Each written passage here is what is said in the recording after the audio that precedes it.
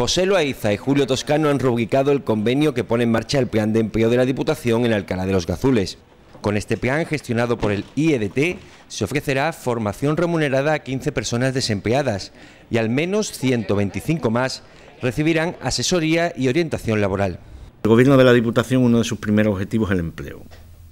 con cualquier tipo de acción que llevemos. Y en eso también somos ahora mismo la única administración, a excepción algo de la administración del Estado, que tiene obras de grandes obras de infraestructura en la provincia, somos la única administración que estamos invirtiendo el alcalde ha explicado que la acción formativa tratará sobre operaciones de restaurante y bar, con vistas a salidas laborales en una nueva empresa. Un área de servicio eh, que constará de, restaurante, de gasolinera y de hotel, que se implantará en la entrada del pueblo y que queremos formar a mm, muchos alcalainos para que los que realmente una vez que esta, esta empresa se implante, que ya digo está en trámite, vamos, va a estar al caer ya,